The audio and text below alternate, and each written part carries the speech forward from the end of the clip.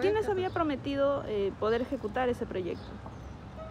Este, del gobierno regional. El gobierno regional de Ica. Ajá. Y hasta el momento no se ha hecho presente. Nada, pasa los gobiernos, todo, pero mira, seguimos igual nomás. Han pasado aproximadamente 25 años y las familias que viven en el asentamiento humano Alberto Fujimori observan que cada gestión regional y municipal no se preocupa en ejecutar el proyecto de creación de pistas y veredas. Una moradora sostuvo que están residiendo prácticamente en un arenal, a pesar de que están cumpliendo con el pago de arbitrios por espacios que aún están en el olvido de las autoridades. Ya nosotros vivimos ya acá más de 25 años y no, tenemos ni pista ni veredas.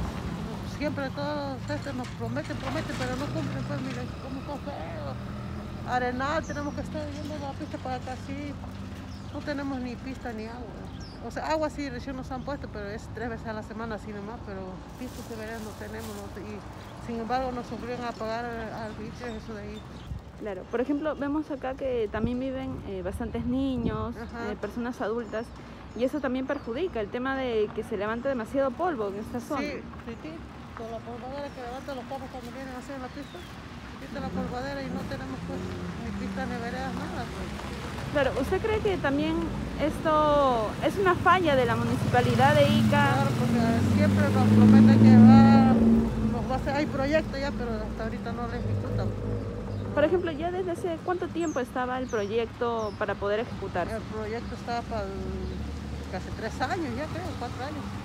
O sea, más o menos en el 2019 por ahí. Por ahí, o más tiempo todavía. Ya está el proyecto, pero hasta ahorita nada. Las miles de familias en dicho asentamiento se ven en la necesidad de emplear agua que utilizan para rociar en las pistas que se encuentran sin asfaltar, debido al polvo que levantan los automóviles y vehículos de carga pesada que transitan por esas vías. Por ejemplo, en su casa, ¿qué tiene que hacer usted? ¿Tiene que echar agua, por ejemplo, para que no se levante tanto polvo? Está tierra, polvo, ¿no? como usted dice, tú limpias tu casa, de nuevo se ensucia lleno de tierra, polvo, todo, porque no tenemos pues este, todo por madera, nosotros cuando pasan los carros y tenemos que estar botando nuestra agua sucia para afuera, que sepa regar con algo. Es por ello que se exhorta a las futuras autoridades a comprometerse con desarrollar el proyecto de pistas y veredas que necesitan urgentemente las familias del mencionado asentamiento iqueño. Veniendo mis vecinos, están veniendo algunos candidatos, no sé de qué partido será, pero están veniendo algunos candidatos a prometer porque va a, va a ejecutar las obras, que no sé qué cuánto, pero a veces son promesas nomás porque llegan al poder ni se acuerdan de nosotros.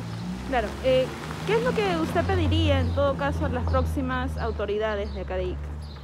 Pues que nos apoyen pues, con la construcción de pistas y como dicen, hay bastantes niños, ancianos, todos, y todos padecemos pues, por las pistas y veredas, por la polvadera, todo todo lleno de tierra, todo, todo el tiempo es así. Y queremos pues que si de verdad nos quieren apoyar, pues que nos apoyen a ejecutar esas obras, porque si ya está proyecto ya tiempo ya.